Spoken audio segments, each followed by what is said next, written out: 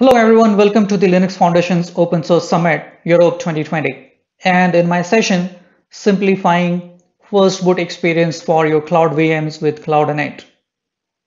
I hope you're having a great time in the Open Source Summit and you're learning new things. My name is Ashish and I work with Microsoft as a partner technology strategist to help my ISV partners embrace the cloud and solve the technical challenges that they are facing. That's my email ID and the Twitter handle on the slide if you want to reach out. We live in an age of everything as a service.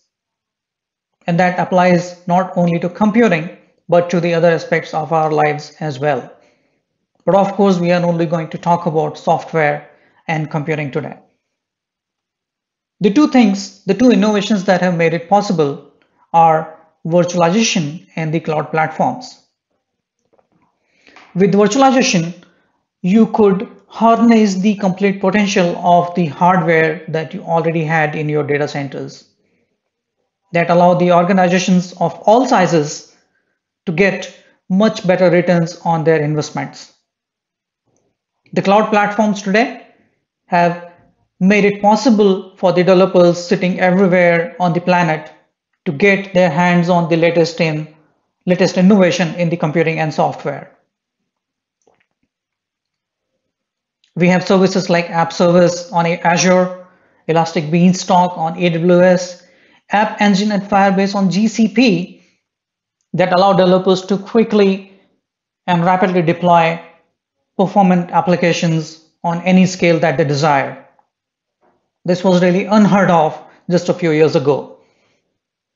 But one thing that everyone still tries to create the moment they get their access on a cloud service is a virtual machine. And there are many valid reasons for that, for the virtual machines to stay here. They are one versatile piece of technology that are available on almost all cloud providers and other platforms. You can install your front end, your back end, your database, and any other software that you need for your solution to work. And you can replicate that stuff among cloud providers. Because the virtual machines, the virtual machine images are almost identical between the cloud providers.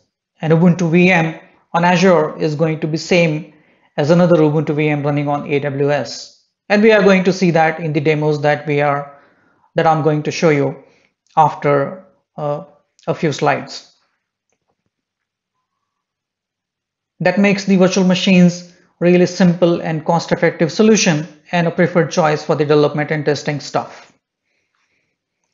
But it is not without problems. The images that you get from your cloud providers are immutable, which means you own the activity to customize the VM to provision them properly and then make them ready with all the necessary software, application, database, configuration, and other stuff that you need to ensure that your solution works in a stable fashion.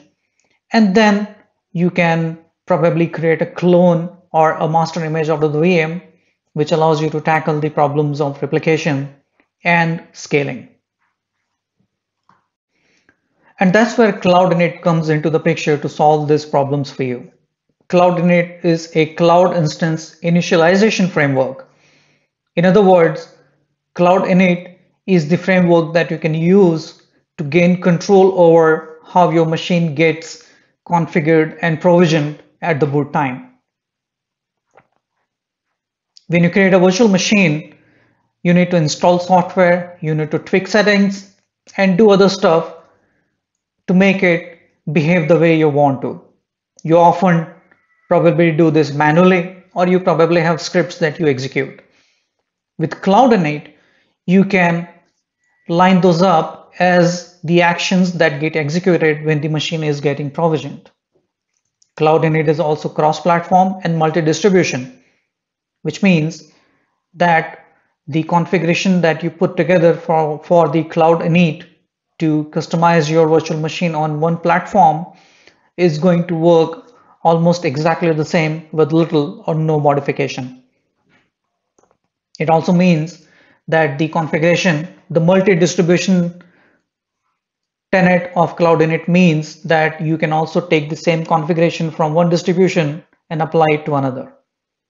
It supports all the major public and pri private clouds and also gives you the fine-grained control over how the VM gets provisioned and initialized at the first boot. And this magic is made possible by instance data that is provided to Cloud Init. It can be classified into three categories, the cloud metadata, the vendor data, and the user data. The cloud metadata and vendor data are provided by the cloud provider and the Linux distribution vendor. It includes information such as what kind of network this machine is going to be connected to, what kind of storage is going to be mounted on the virtual machine, and things like SSH configuration so that you can access the virtual machine after it is ready. The user data is where you and I get control over the customization that we want to carry out when the machine is being provisioned. As mentioned earlier, Cloud Init provides you with really fine-grained control over how and when you can customize your virtual machine. The generator stage is an early stage during the boot up process. The local stage is when your root file system becomes read-write so that you can start writing data and configuration to the files. The network stage becomes available when the network is up. At this point of time, you can start calling the services outside and get your software and configuration and source code and other stuff downloaded to the virtual machine. And then you can configure them in the configure stage. And at the end, you have the final stage, which is similar to rc.local. These scripts in the stage gets executed after the machine is fully boot up. You also get control over how and when you want to execute the scripts. You can execute the scripts only once when the machine gets provisioned. You can also target a different set of scripts only during the first boot after the provisioning. Then there are scripts that you can also run at every boot up. So as you can see, the flexibility that you get with Cloud Init is really versatile. So that was the context about Cloud Init and what it can do for you. Let's jump into the demos to take a look at Cloud Init in action. In the official documentation, there are extensive examples that you can get your hands on. But for the purpose of this talk, we are going to take a look at some simpler examples. So there's a cloud config uh, example where we are going to uh, perform the upgrade of the package repository and install uh, Nginx as a package on the uh, target virtual machine. Then we've got a way where you can use a different directive to uh, run a script from a remote location. And then we have this example where, where we are going to run a script uh, on the VM.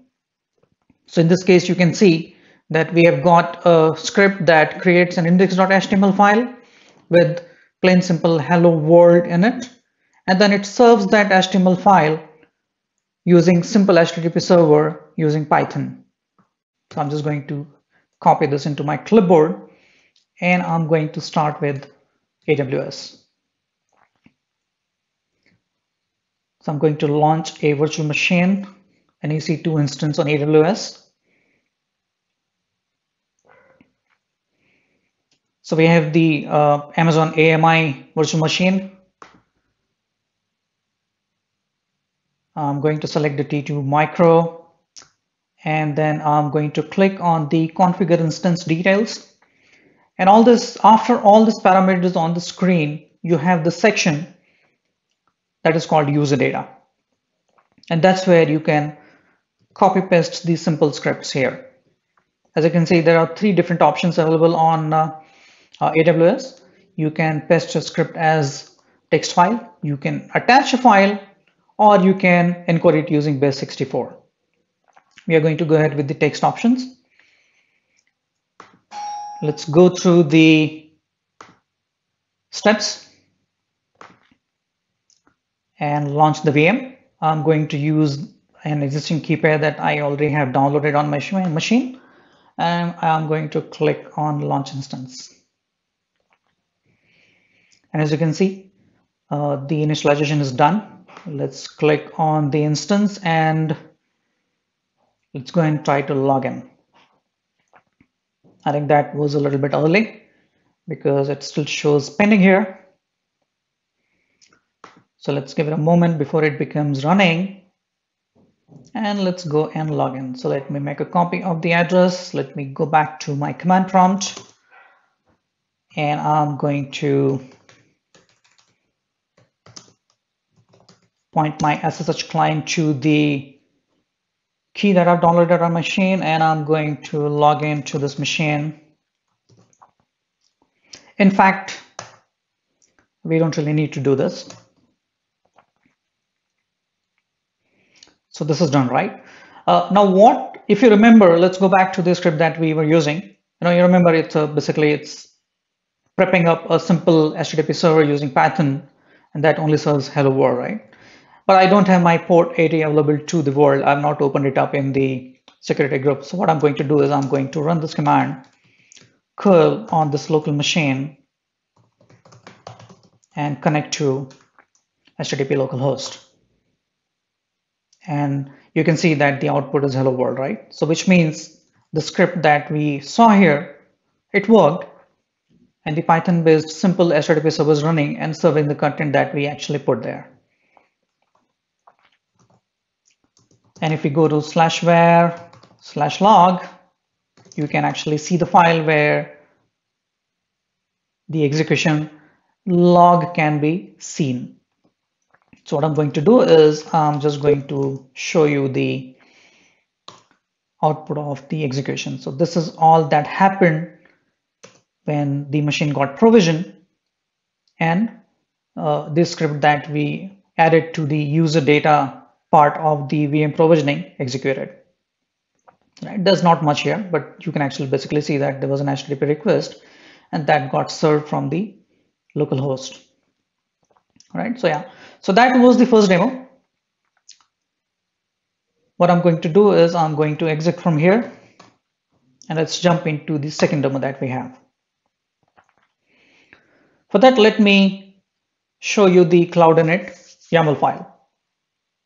So this YAML file starts with a cloud config directive and then there's a directive called package upgrade true, which is equivalent on Ubuntu VMs. It's equivalent to uh, apt update, which means it is going to just uh, update the package registry so that uh, uh, you can get the information about the latest available packages. And then after that, it is going to install this package called Nginx. Nginx is a web server. Uh, I think that's something that everybody practically knows. So what we are going to do this, what we, what we are going to do now is we are going to copy this. And this time we are going to launch a VM on Azure. So I'm going to create an Ubuntu 18 VM here.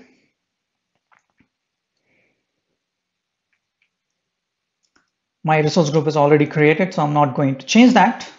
I'm going to call it Ashiza Web 1. I'm going to put it somewhere closer to me and I'm going to use a standard B2S, which is the burstable two core VM. I'm going to use an existing key that I have already stored in Azure and which is already downloaded to my laptop. I'm going to practically keep everything as it is, but when we come to the advanced stage, advanced stage of configuration, advanced step of the configuration, what I'm going to what I'm going to do is I'm just going to paste that copy texted. But when we come to this advanced step of the VM creation experience in Azure portal, what I'm going to do is in the custom data section, I am going to paste the text that I copied from the code example that we were looking at.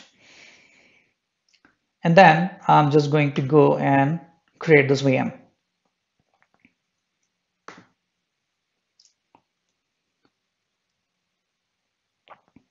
The VM has been, the deployment is actually in progress right now. And while that is happening, not to waste time, what we will do is we will actually go and create an Ubuntu VM on AWS as well.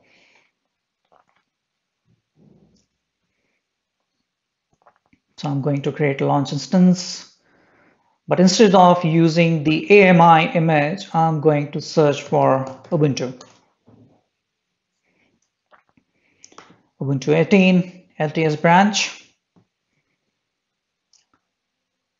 The rest of the steps are going to be exactly the same that we did the last time. T2 micro, which is the equivalent of the size that we chose on, on Azure. And I'm just going to put this here. You see, you know, it's the same text that I've used on Azure. I'm just going to use that exactly the same on AWS as well and I'm just going to launch it. Same question, just going to use the key that I already had saved on my VM.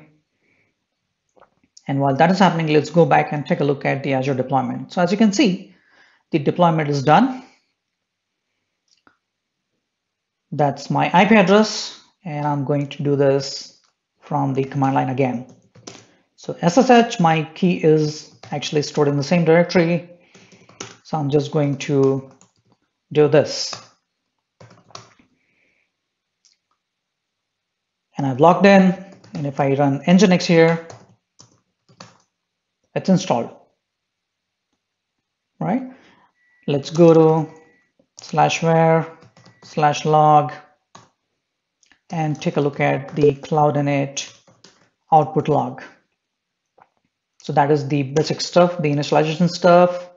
And then at the end, if you see, this is the output of the apt update, apt-get update. And then after that, whatever you see on your screen is basically Nginx getting installed. And if you remember the slide where we were talking about the different stages of the boot that you can target, uh, anything that you put in the user data or the config or the custom data on Azure portal uh, gets executed at the final stage. The thing about these stages is that everything that you put in the cloud init and target a specific stage that basically blocks the boot process. So you have to be absolutely careful about what you are doing and uh, also be careful about whether or not it is going to uh, prevent your machines from booting up. So be cognizant about the fact and everything should be fine. So that's one thing let's go back and take a look at our AWS instance. So yeah, that seems to be running now.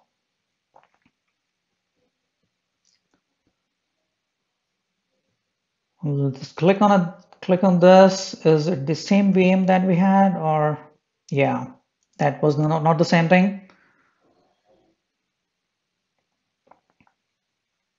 So this is our Ubuntu VM. What we're going to do is the same thing that we did on Azure. So I'm going to log out from here. I'm going to use my AWS key and the username for the Ubuntu VM on uh, AWS is Ubuntu. So that's what I'm going to use here.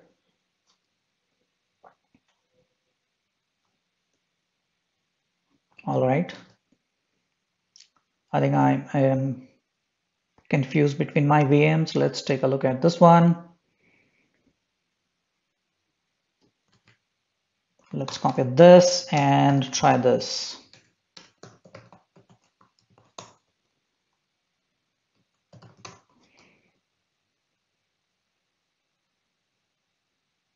So that worked. And Nginx command is available. And what you can also do is you can actually take a look at the output log of Cloud Init and you would practically see the same output that you saw on the Azure VM because like I said, the Ubuntu VM on Azure is going to be practically identical to Ubuntu VM running on any other, any other platform. So we're done, similar output and similarly targets the final phase. So that was about how you could use the Cloud Init YAML uh, format to execute stuff, right? There's another thing that we can do is that you can also execute a remote script through the Cloud Init.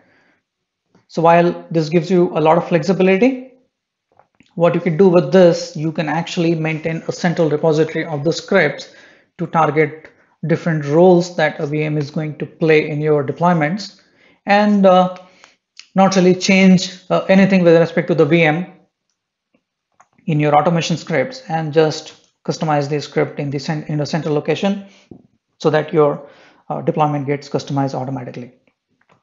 The directive of interest here is hash include and then I've provided a URL to a script that I've stored uh, on GitHub. So that's the raw path. So what is going to happen is that the moment uh, Cloud Init reaches the final stage, it is going to download this script and it is going to execute uh, that on the VM. So let's try that with Azure first, and then we will do the same thing on uh, AWS. So I'm going to create a VM on Azure, same resource group, somewhere closer to home.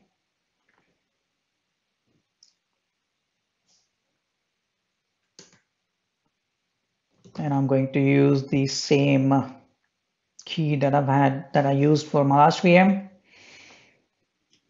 and going to jump to the advanced stage and put this script here. So before we do that, let me just show you that script. So let me just copy this URL and open it for you, open it up for you. So as you can see, what I was doing with the Cloud Init YAML file in our second demo, I'm doing that, but I'm doing that through the script uh, here. So I'm installing npm, Node.js, and Nginx apart from uh, updating the uh, uh, apt registry. So let me start the deployment here and then we are going to do that exact same thing on the AWS.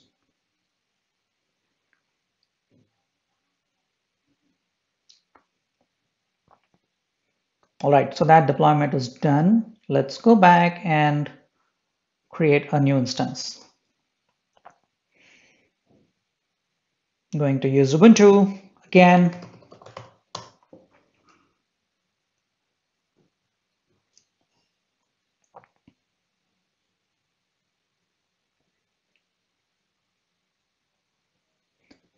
Going to use the same size that is allowed for my free tier on AWS and I'm going to put the exact same thing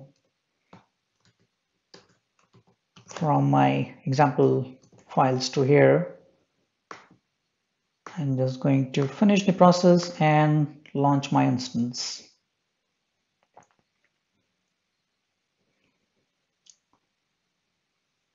And in the meantime, our VM on Azure was created. Let's copy the IP address and take a look at that.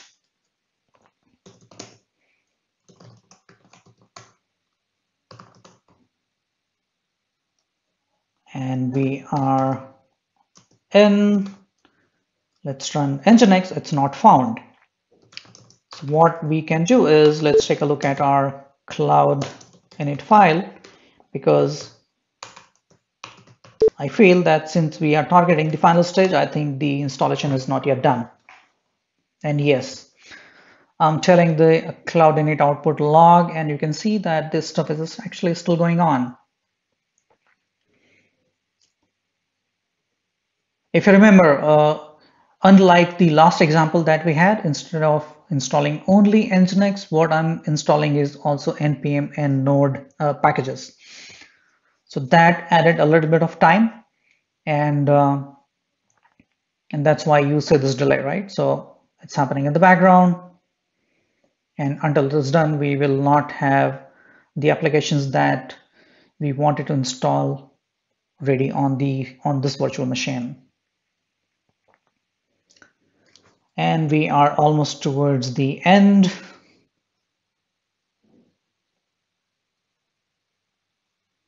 While that's happening, let's go back and take a look at our AWS instance. It says successful. Let's refresh. It's initializing at the moment.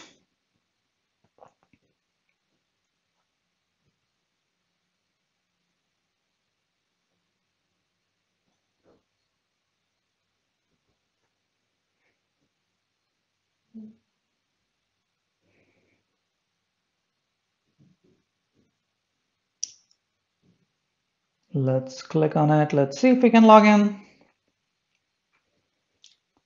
All right, this seems to be done. This was the Azure VM. And now if I run that same command that I ran first, we have Nginx running. And we can verify it's running by running curl against the localhost. And yeah, you can see we have welcome to Nginx available here. So let's log out from this VM. Let's try to log in the VM that we created on AWS.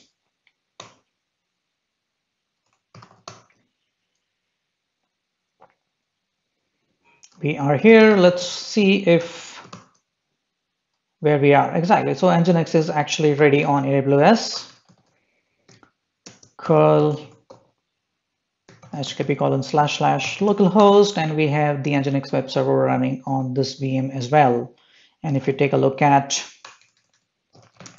the cloud init output log in var log you can see the information to that effect as well.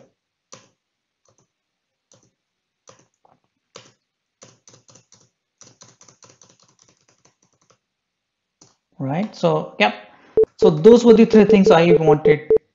So those were the three things that I wanted to share with you today. Let me log out and let's go back to our slides. So what we saw today in the session is that how Cloud Init really makes it easy for you to customize your VMs irrespective of which cloud provider you choose and with practically the same configuration. The one thing that would have been different in today's demo is when I when I wanted to install the Nginx package on my uh, AMI images because the Nginx package on uh, for the AMI images on AWS is called Nginx One. So I would have had to change the package name to Nginx One for the Cloud Init code snippets that you saw to work on AMI uh, the way uh, it actually works on the Ubuntu VMs. These are a couple of links that I believe is going to be extremely helpful and specifically the examples section. So what you saw today on my screen on, on this uh, in the session in the demos were very simple demos, but uh, if you want to explore the broader capabilities of Cloud Init, uh, you can go to the documentation and take a look at the examples that are there. And with that you could actually see that the kind of customizations you can carry out for your virtual machines running on any of uh, the public clouds and the private clouds is very extensive. And that gives you really more power to uh, ensure that your VMs, your primary site, your DR site are practically identical uh, irrespective of how you are, uh, what kind of images you're choosing and what cloud, cloud provider you are uh, choosing. And with that, we are coming to an end of the session. I hope it was useful and you learned something today. Feel free to reach out to me on my email and the Twitter handle, and uh, I should be able to uh, help you with your questions and any doubts that you have. Thank you very much. Again, uh, welcome to the Linux Foundation's Open Source Summit Europe 2020 Virtual Edition. And I hope you're having a great time and I wish you great learning. Thank you.